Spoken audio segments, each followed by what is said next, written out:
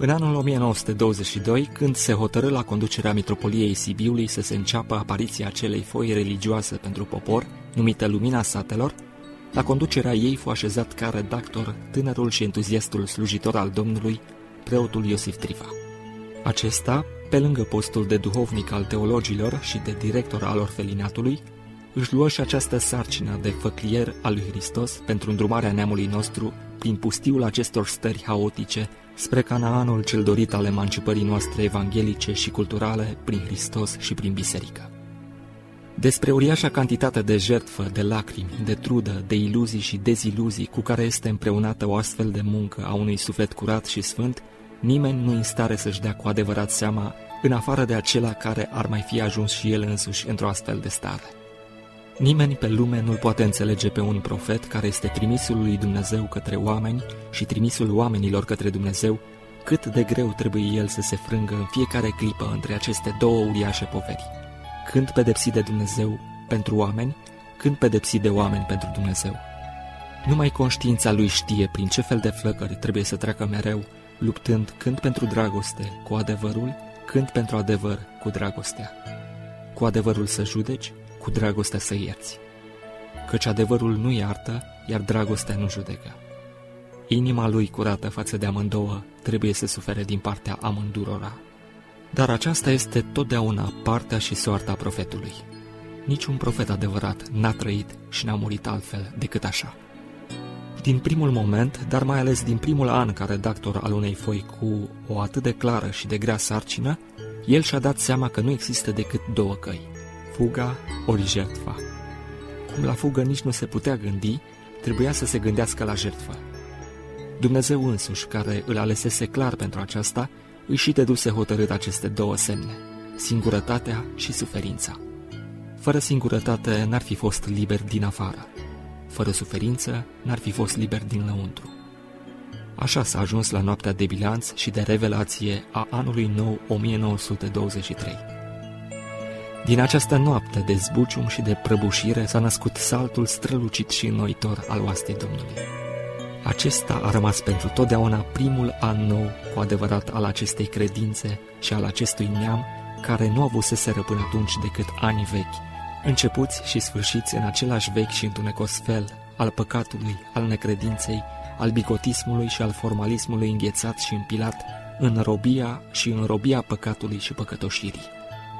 Dar, ca orice lumină care sperie făpturile întunericului, această minunată și înnoitoare făclie a lui Dumnezeu le-a speriat pe toate vietățile care iubeau păcatul și își îngrășau trupurile din menținerea lui și, ca bufnițele speriate de felinar, s-au repezit să stingă lumina cea nouă și să-l sfâșie pe purtătorul ei. Orbiți de micimea lor sufletească și de gelozia nevredniciei lor, chiar și cei ce fuseseră cândva pe o clipă încălziți de o rază evanghelică s-au prăbușit îndată în apatia generală a celorlalți, înecându-se în noroiul leneviei, comodității și lăcomiei. Profetul adevărului viu, însă, plin de Duhul Sfânt, suna din trâmbița redeșteptării bisericești și apăsa din greu pe plugul evangelizării naționale, destelenind hotarele sufletești ale țării pline de spini și bolovani pentru semănătura și recolta cea nouă și mântuitoare. Întreg sufletul poporului, iluminat, presimțind în el pe adevăratul trimis al lui Dumnezeu și pe dezrobitorul său duhovnicesc, i s-a atașat cu toată puterea încă de la începutul deslușirii glasului soliei sale și după cum încheia cei zece ani de păstorire la Vidra cu cuvintele. Ce mare deosebire este între starea voastră de acum și cea din urmă cu zece ani, când am venit aici ca păstor al vostru sufletesc. Atunci erați în întuneric, acum aveți lumina vieții. Atunci nu cunoșteați nimic, acum cunoașteți toate lucrurile. Atunci erați străin de Dumnezeu, fără nădejde și fără nicio temelie, în superstiții și formalism, iar acum, cât de puternică tărie, nădejde și credință îndrumă sufletele voastre în cunoașterea și trăirea voii lui Dumnezeu. Tot așa vorbea el și la cei 10 ani de oaste, în 1934, când aria muncii sale depășise nu numai hotarele României, ci și ale Europei prin lucrarea oastei Domnului, care va fi un focar de viață sfântă nu numai pentru poporul nostru și biserica noastră, ci și pentru încă multe alte popoare și biserici creștine, până Dumnezeu știe unde. Dar tocmai pentru asta diavolul, vrăjmașul oricărui bine, a stârnit împotriva tânărului profet pe toți îmbătrâniții sclerozați în conservatorismul lor avantajos și comod și împotriva noutății evanghelice a oastei, pe toți păstrătorii vechilor datini lumești, în urma cărora ei aveau numai câștiguri, iar Dumnezeu și sufletele neștiutoare numai pagube. Viclenia împotrivitorilor a știut cum să se ascundă sub prefăcătoria religioasă. I-au întins curse tocmai cum întinseseră farisei curse Mântuitorului nostru Isus Hristos la vremea lui. Apoi au pregătit un proces la capătul căruia aveau să-i răpească atât calitatea de preot, cât și averea și chiar viața pământească. Întocmai cum îi făcuseră stăpânului viei, i-au făcut și trimisului său.